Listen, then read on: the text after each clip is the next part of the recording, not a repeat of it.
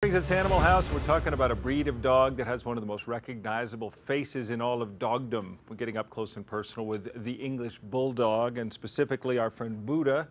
Dr. Kevin Fitzgerald back with us today, and Buddha is nine weeks old, and he's had already had a very interesting start to his life. Nine weeks old. He, he uh, this is this is a wonderful breed. This is an old breed at that that they um, they're known to us, you know, from from in several forms for the, last four or five hundred years. About the last 150 years, they look like this. These guys were recognized by the AKC right. in 1886.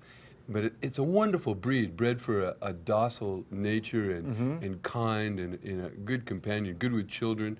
And, and they're, they're wonderful dogs. In 33 years of practice, I think I've seen one mean one. They're great dogs. And, and uh, uh, although they, they do have some health issues. Well, mostly involving breathing, right? I know they, they certainly have issues with that compact face. Respiratory problems with that uh, smushed in nose, uh, narrowed uh, nostrils, and mm -hmm. elongated soft palate so they snore when they're awake, uh, a tiny hypoplastic trachea, the trachea is small, folds, these, these little saccules inside near the, the vocal folds. So they're really sensitive to heat these guys, you know, can, can overheat very easily. They can't uh, get rid of excessive heat. Dogs don't sweat, so the only thing they can do is pant. Uh, the skin folds can, uh, are, are, uh, can be a problem. They have to keep them clean. Uh, these guys aren't the most fastidious about, about now, their appearance. Now, I've heard one thing that's a real problem is if you get one of these, you have to fight off the ladies. Well, is that, is that true? Like the old Hai Karate commercials, you know?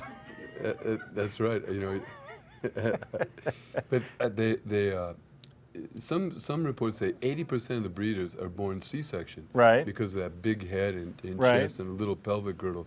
So uh, they're they're but they're a, a, a, great dog. They do have some health issues. They they they aren't as long lived as some breeds, but but boy, they're they're uh, they're a wonderful dog. And they're like one of those faithful dogs, one of those at your side dogs all the time, right? They aren't they aren't big uh, animal athletes, you know, but but they want to they want to be home a lot with you.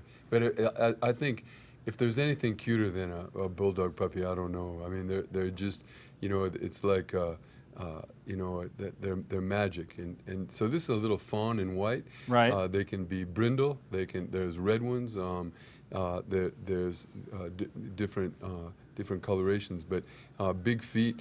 Um, it, but the, a great little dog. This this guy is so. How big will he be?